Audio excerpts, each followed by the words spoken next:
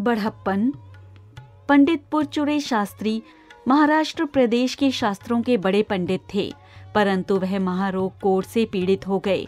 फलतः अपने कुरुपति के बावजूद परिवार, समाज जन समाज से लगभग उपेक्षित हो गए।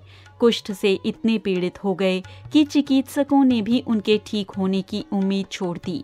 एक ओर से निराश होकर वह वर्धा ज़िले से गाँव, वर्तमान सेवा ग्राम में आ गए।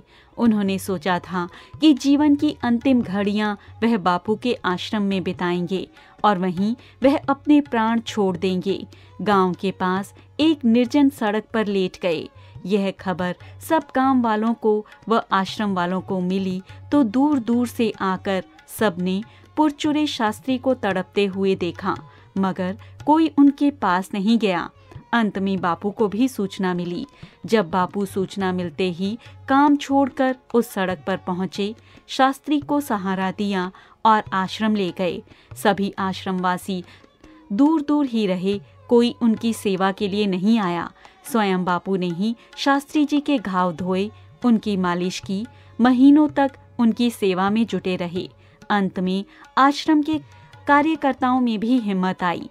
वे भी मालिश और सेवा के काम में बापू की मदद करने लगे। परंतु बापू ने स्वयं किसी से उनकी सेवा के लिए एक बार भी नहीं कहा। यह था बापू का बड़प्पन।